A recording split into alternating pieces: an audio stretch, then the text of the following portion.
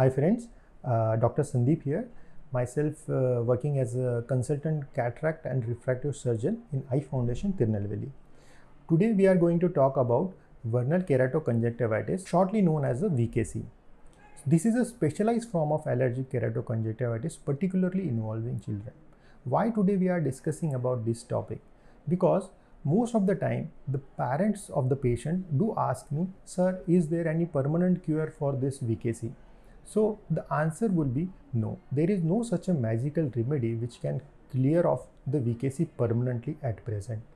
But there are medication which can give you comfort, which can prevent your recurrences, also which can reduce the chances of VKC occurring frequently and the consequences which it can have on your eyes permanently.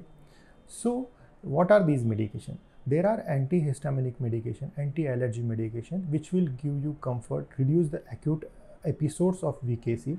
Similarly, there might be low dose steroid which you need to prevent the frequent recurrences of VKC and lubricating eye drops which will give you comfort. You have to remember this thing that it cannot be removed permanently at present as the child will grow body hypersensitivity will reduce and frequent episodes of VKC will also reduce also you have to remember that you should not rub your eyes. You have to remind your child that you should not rub your eyes because that will cause more harm.